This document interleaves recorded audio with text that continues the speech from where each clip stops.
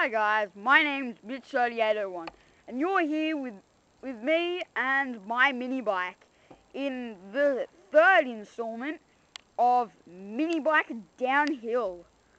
So I'm gonna mm, well there's not really much different to this than my past one so hey let's go dude. Whoa! Whoa! What the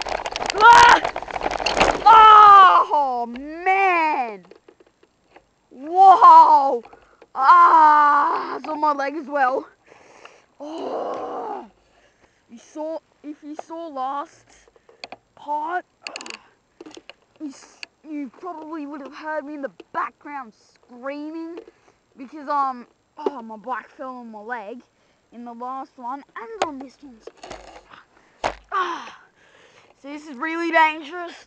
Oh man, it hurts so bad.